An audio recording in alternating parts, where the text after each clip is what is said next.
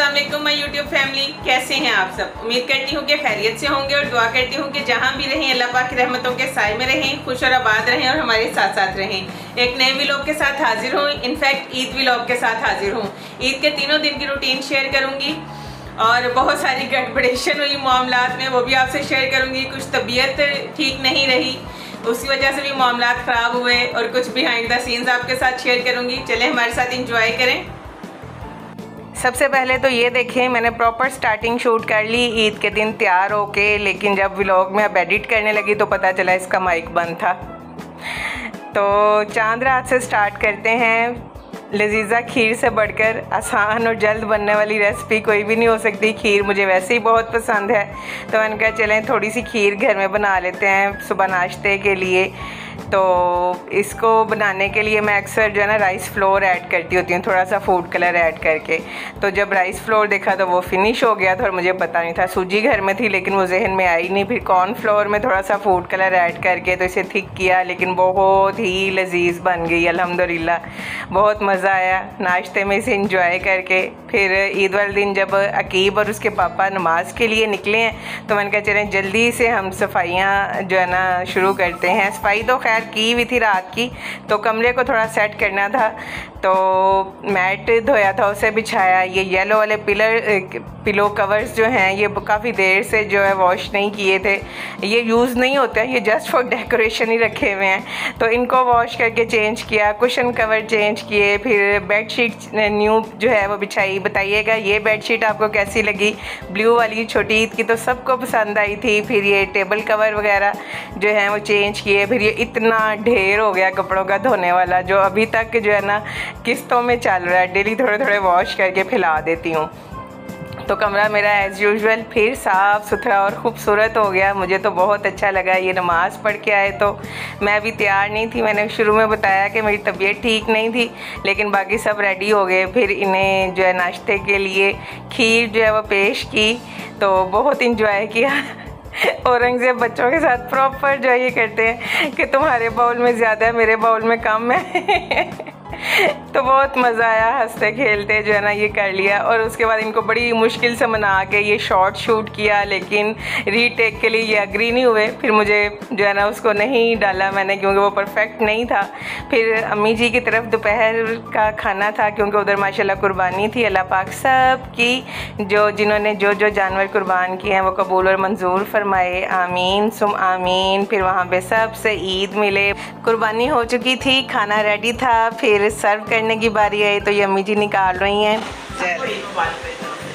मेरी अम्मी जी ने भी आप सबको ईद विश की। फिर माशाल्लाह दस्तरखान लग गया। अल्लाह ताला बहुत बरकत दे, बहुत वसत दे, कुशादगी दे, खैर बरकत दे दस्तरखानों में।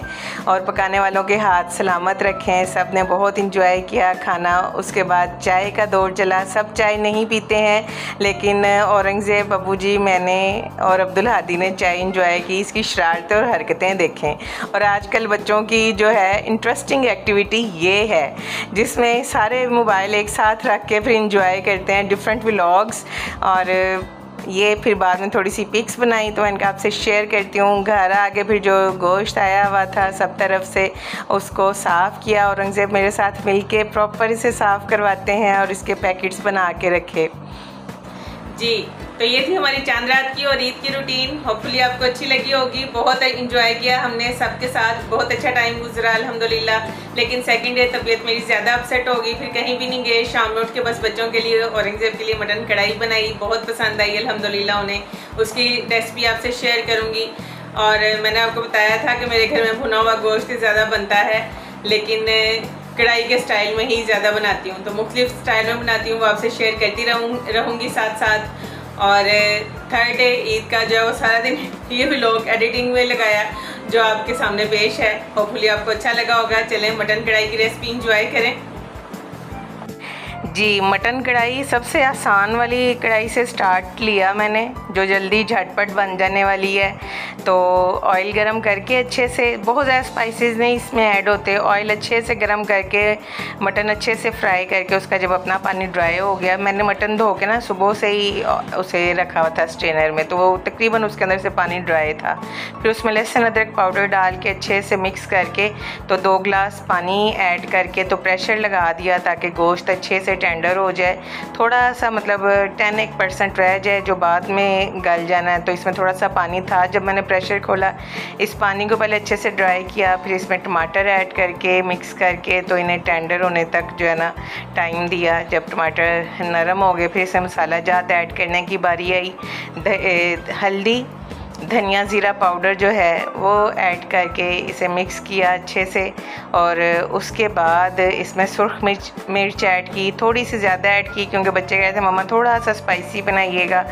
तो जब ये अच्छे से मिक्स हो गई तो फिर इसमें नमक ऐड किया। नमक एंड पे ऐड किया ताकि जो है, गोश्त सॉफ्ट ही रहे। ग्रीन चिल्ली ऐड की इसी स्टेज पे इसे अच्छे से मिक्स कर लिया और देख लिया कि गोश्त बिल्कुल रेडी है तो गरम मसाला कसूरी मेथी ऐड करके मिक्स की।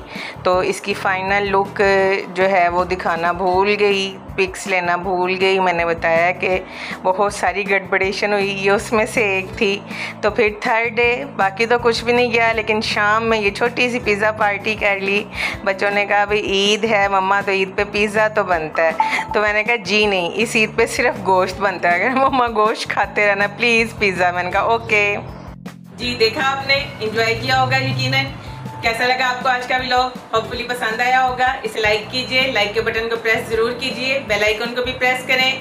ताकि नई आने वाली वीडियोस के नोटिफिकेशन आपको वक्त पे मिल सकें। कमेंट्स कीजिए। मेरे चैनल को सब्सक्राइब करें। इसे अपने फैमिली और फ्रेंड्स के साथ शेयर करें। इंशाल्लाह बहुत जल्द आऊँगी एक नए व्लॉग के साथ। अल्लाह हाफिज़।